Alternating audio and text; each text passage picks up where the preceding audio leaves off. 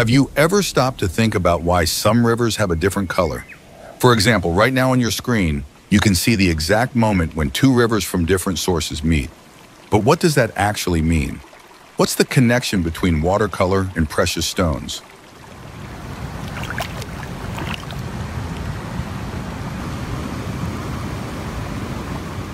You might have noticed rivers in your area that look a bit off.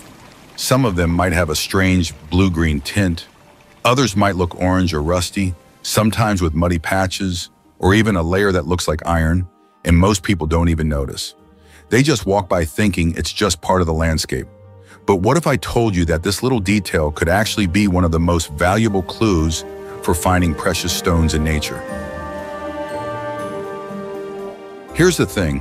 Gemstones are valuable because they're hard to find. The rarer the gem, the more it tends to be worth. And if you want to find something truly valuable out in nature, you have to pay attention to the details. It's not impossible, but you need to know how to read the signs nature gives you. That's why so many opportunities are missed by many people. They don't know that the color of the water can reveal secrets hidden underground. And this isn't just a theory, Scientific studies confirm that minerals dissolved in water can completely change its color. And some of those minerals are directly connected to the presence of rare gems like rubies and even diamonds.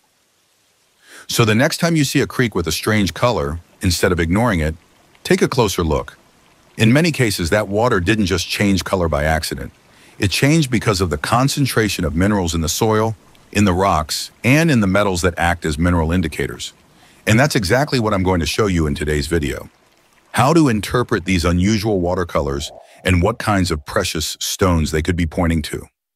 Of course, these signs are not guaranteed, but trust me, there are still a lot of precious stones out there just waiting for the right person to find them.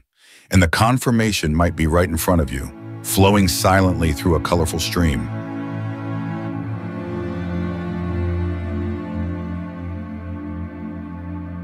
Every experienced prospector knows this.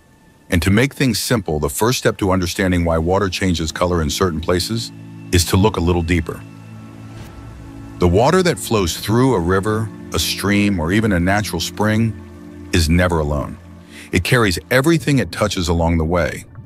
Soil particles, organic debris, sediments, minerals, and in some cases, even rare gemstones.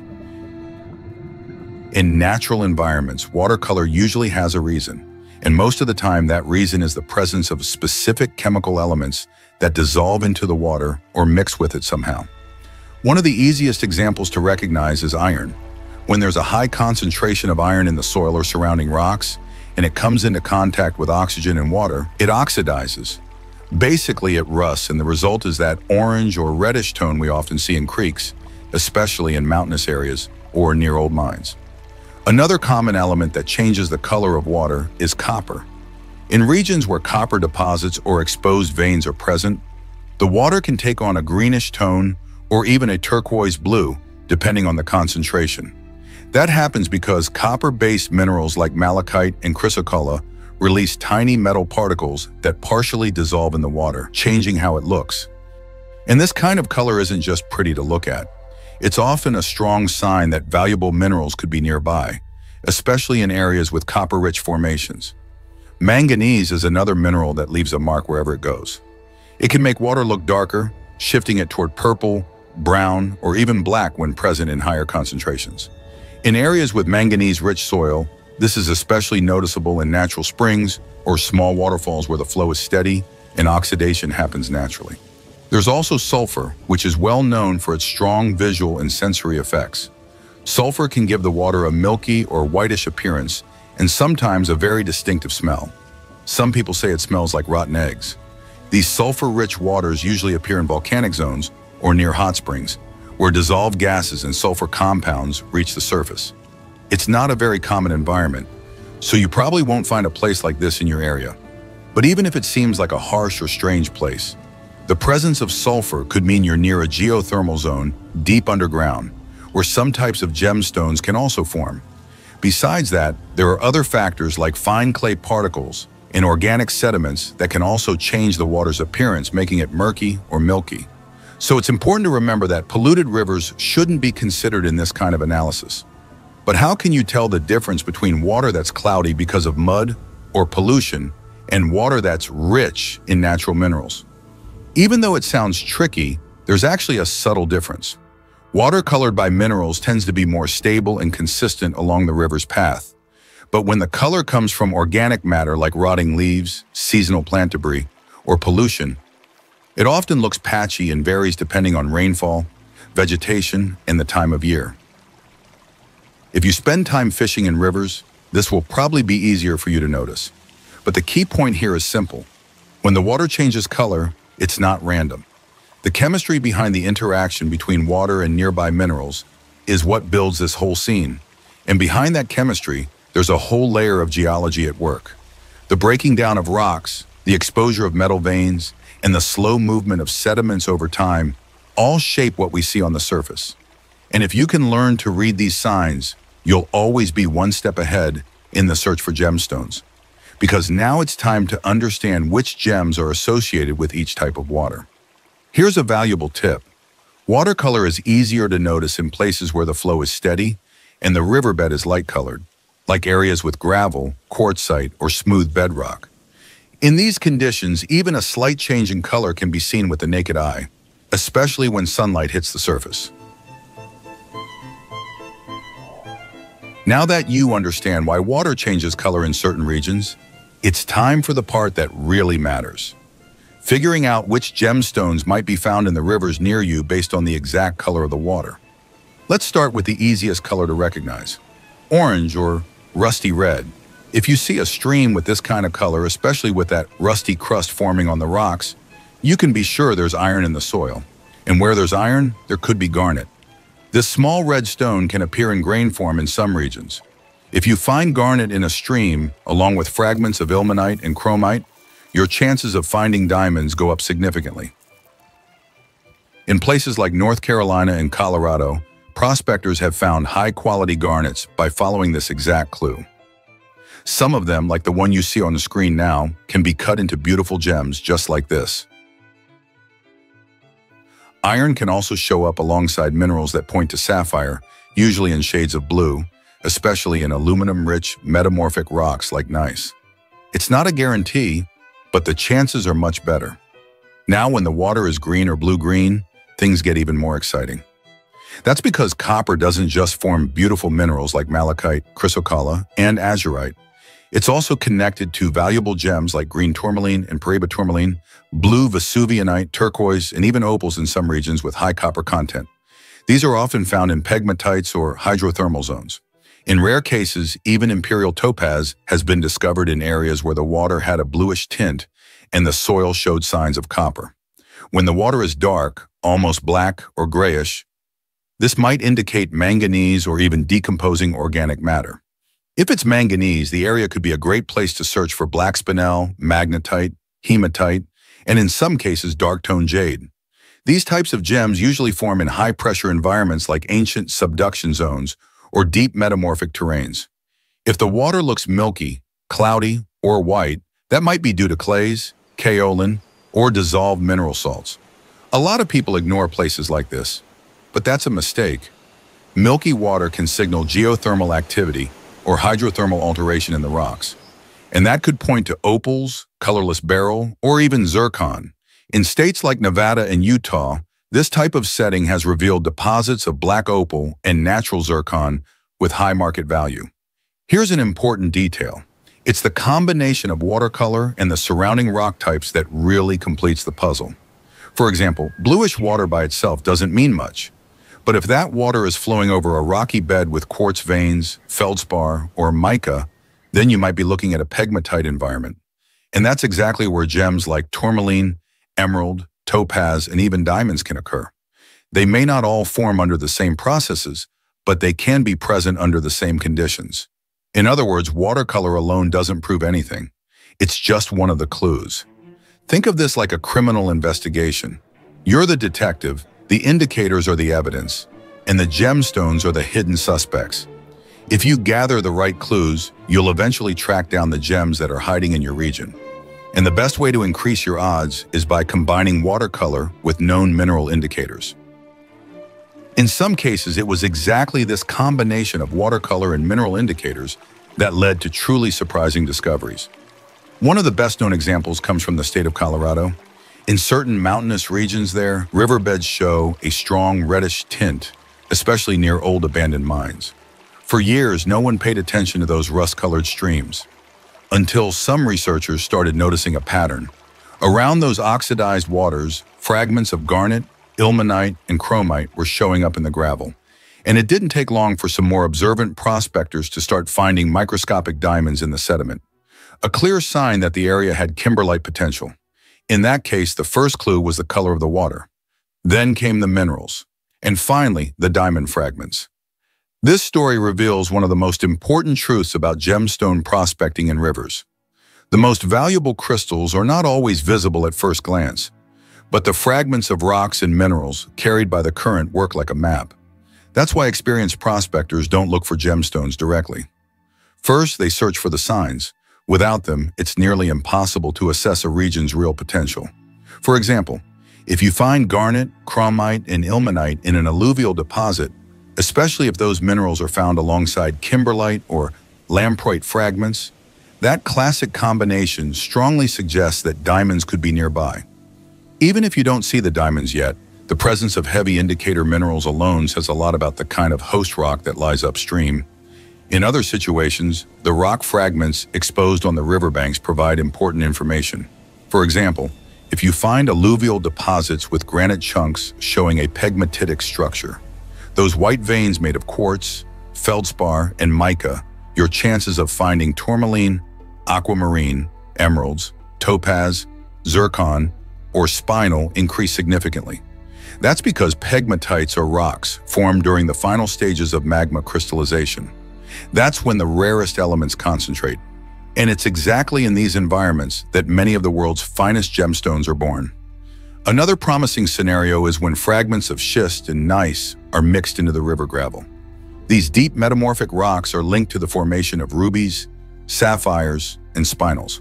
In regions like Montana, North Carolina, and parts of California, this type of geology has already revealed gemstones of extremely high value. Sometimes just spotting rounded red garnets in the sediment is enough to raise a flag. And if you also find minerals like kyanite, staurolite, or even raw corundum, you could be a lot closer to a ruby or sapphire than you realize. The same logic applies to areas with ancient hydrothermal activity, where quartz veins cut through altered volcanic rocks. In places like central Nevada or parts of Utah, you'll often find fragments of silica, iron oxides, and small opaque nodules. These indicate zones with potential for opal, zircon, topaz, and even chrysoberyl. All of this material is carried by streams that, at first glance, may seem completely insignificant. Take Arizona, for example, in the Morenci region, there, some creeks show an intense green color caused by copper that naturally dissolves from surrounding rocks. In those areas, veins of malachite and chrysocolla literally emerge from the ground. And it's not uncommon to find turquoise fragments washed to the riverbanks, along with small crystals of Vesuvianite, tourmaline, and even colorful opals. These creeks have become a source of income for those who figured out what was hiding beneath their feet. Back in Nevada, like we mentioned before, Milky or whitish creeks are often caused by colloidal silica, sometimes mistaken for pollution. But to those who understand altered volcanic terrain and geothermal activity, that milky color is a clear signal. It was exactly this kind of environment that led to the discovery of the region's famous black opals. In certain areas, it's still possible to find amorphous silica fragments, opal nodules, and even tiny natural zircon crystals in small cavities. And there's more. In Virginia, amateur rockhounds have reported finding garnets, spinels, and even small samples of kyanite in creeks that appear totally ordinary.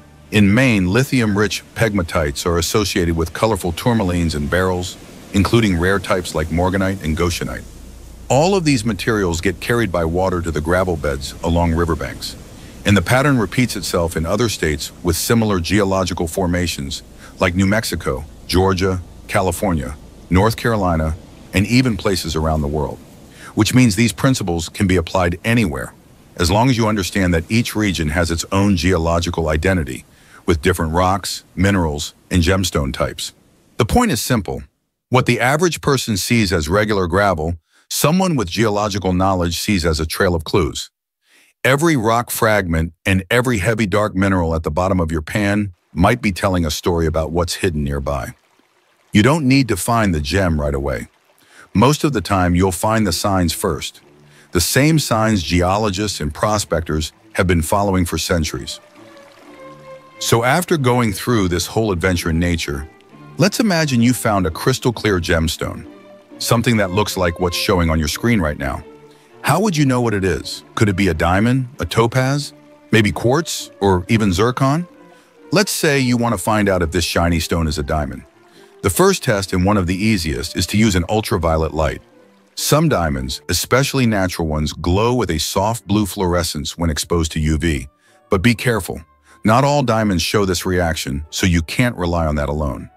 That's where the Mohs scale comes in. It's used around the world to measure the hardness of minerals. The scale goes from 1 to 10. The higher the number, the harder the material. For example, quartz has a hardness of 7, while regular glass has around 5. So if you rub quartz against glass, the glass will get scratched, but the quartz won't. Diamonds sit at the very top of the scale with a hardness of 10. So in theory, you'd need something with a hardness of 9 to test it properly, like a ruby, for example. But does that mean you need to go out and buy a real ruby just to run a test? Not at all. There's a much cheaper option. You can use a sandpaper made with carborundum, also known as industrial ruby. If you rub your stone against that sandpaper and it starts wearing down, then unfortunately it's not a diamond. But if it stays completely intact, there's a good chance you're holding something very special. But even if your gemstone doesn't pass the test, the last thing you should do is throw it away. That's because many precious stones look very simple in their raw state. Quartz, for example, is easy to find and might not be worth much, but it can still have value, especially if it's pure, well-formed, or has a rare color. And the same goes for topaz, beryl, spinel, and so many other gemstones that can appear where you least expect them. Still, we know there are hundreds of types of gemstones. Some are completely unique. Others look almost identical. Trying to explain all of them in a single video would take hours. That's exactly why before you rush out to your nearest river, there's one last thing you really need to know. A lot of people out there have actually found valuable stones, but because they didn't know how to properly identify the mineral type or the quality of the gem, they ended up getting scammed and selling for way below market price. And unfortunately, there are buyers who take advantage of that lack of knowledge to pay pennies for stones that are worth a lot more. That's exactly why I created the ebook Gemology Journey for Beginners. It's a complete, no-nonsense guide for anyone who wants to learn how to identify minerals in a simple and practical way.